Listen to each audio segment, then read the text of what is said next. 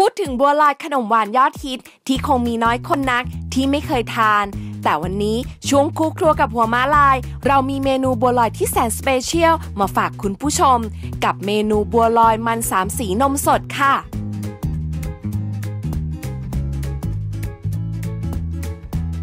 นวดส่วนผสมบัวลอยทั้งหมดเข้าด้วยกัน จนแป้งจับตัวเป็นก้อนนุ่มมือ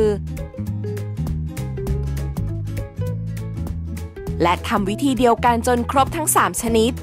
ปั้นเป็นก้อนกลมเตรียมไว้ ใส่น้ำลงในหม้อหุงต้ม Wisdom Plus ตาหัวม้าลาย ตั้งไฟต้มจนเดือด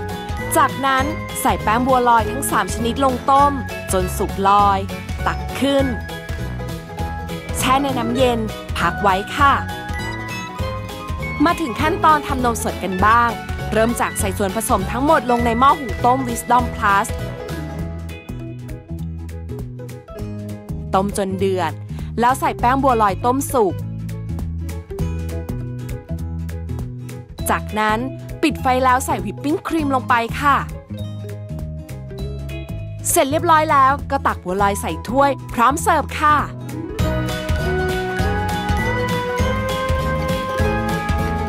ง่ายแสนง่ายกับเมนูขนมหวานบัวลอยสามสีนมสด และจะง่ายยิ่งขึ้น หากคุณผู้ชมเลือกใช้เครื่องครัวที่มีคุณภาพดี พร้อมปรุงทั้งเมนูหวานข้าวนะคะ